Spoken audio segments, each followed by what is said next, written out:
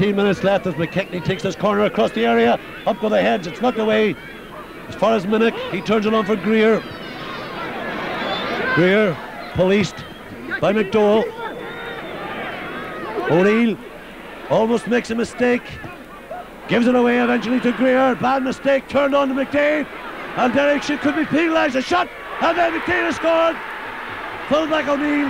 A dreadful mistake by. He should have fed his goalkeeper in those circumstances. No cover at all. Eventually gave it away to Greer. He turned it on to McLaughlin, or on to McDaid rather, and he fairly hammered it from outside the area past Roberts.